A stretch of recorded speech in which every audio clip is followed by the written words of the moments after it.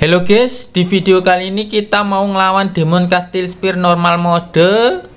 Ini aku pakai mire, mirenya dikasih depan, terus yang tipe breakernya tengah, supportnya terakhir. Triknya aku seperti menggunakan di Vulkan lantai 25, hampir sama sih. Powerku masih 550 ribuan melawan 700 ribu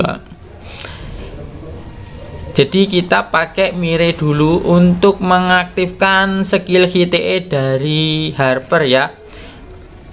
Biar cepet lah menggunakan breaknya nah ini kan ini kan kita bisa langsung menggunakan HTE ya. Seperti biasa kalau pakai Harper itu gunakan skill satu terlebih dahulu kemudian basic attack biar bosnya itu terkena stun. Otomatis kita menggunakan skill 2 nya itu tanpa hambatan. Terus kelemahannya menurutku dari game ini ya karena kita kan F2P otomatis pertarungan akan lama ya guys ya. Tidak secepat seperti pay to win ya kan. Soalnya damage kita masih kecil. Otomatis kelemahannya di Mire ini adalah kekurangan mana di akhir-akhir.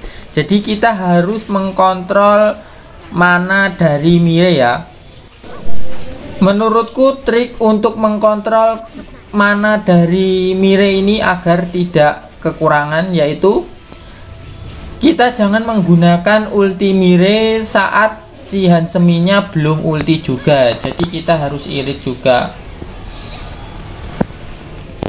Nah ini kan kalau sudah dia ultinya mire habis kita langsung aja ganti ke Harper ya guys ya ini sudah menggunakan ultimate-nya. Ini kita gunakan skill 2 dulu dari Hansemi. Biar kita regennya dari mire mananya ini juga cepat apa namanya penuh juga ya. Jadi kita tidak kekurangan mana nanti. Tapi menurutku juga akan terakhir soalnya kita harus menggunakan trik-trik ini itu ini itu ya nah ini kan bisa kalau kita sudah punya ulti kita ganti juga ke mire. Mirenya ini manaku full lagi kan? Nah kalau dengan menggunakan trikku ini dijamin mana mire ini akan selalu penuh alias banyak lah. Ya kadang nggak penuh tapi setidaknya ndak kekurangan mana lah ya kan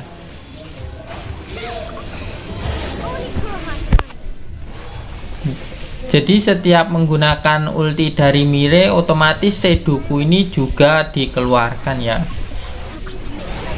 Ini sudah habis mana dari Mire kita ganti dulu ke Harper. Kita harus regen dulu mananya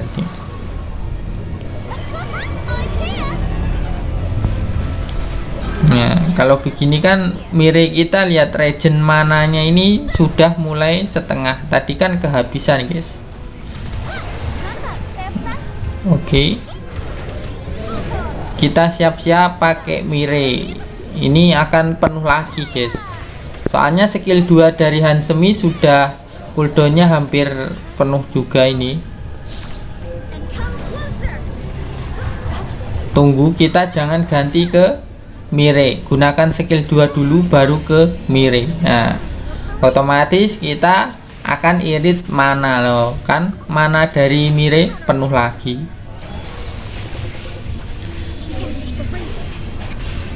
Tinggal kita lanjutin aja menghajarnya. Pokoknya triknya ya seperti biasa. Kalau di vulkan lantai 25 kan Alicia itu paling depan. Nah, kalau di sini Mirenya paling depan agar kita bisa mengeluarkan HTE dari Harper otomatis kita bisa ngebreak musuh itu dengan cepat. Terus combo dari Harper yaitu skill 1 dulu kemudian basic attack, kemudian skill 2 agar bisa mengeluarkan skill 2 Harper itu tanpa ada kendala ya. Kemudian trik yang berikutnya adalah menggunakan skill 2 Hansemi dulu baru kita berubah ke Mire. Nah begitu kan guys? Kalau kita belum mengeluarkan ultimate sama skill 2 Hansemi jangan menggunakan ultimate dari Mire juga ya guys ya. Ini kita sudah kayaknya mulai-mulai try hard ini waktunya hampir habis. Tapi mana dari Mire sudah kayak terlalu maksa ini aku soalnya waktunya sudah mulai habis.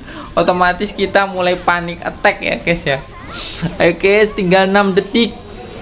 Oke guys itulah tips and trick dariku. Terima kasih sudah menonton. Jangan lupa untuk subscribe komen dan like ya. Bye bye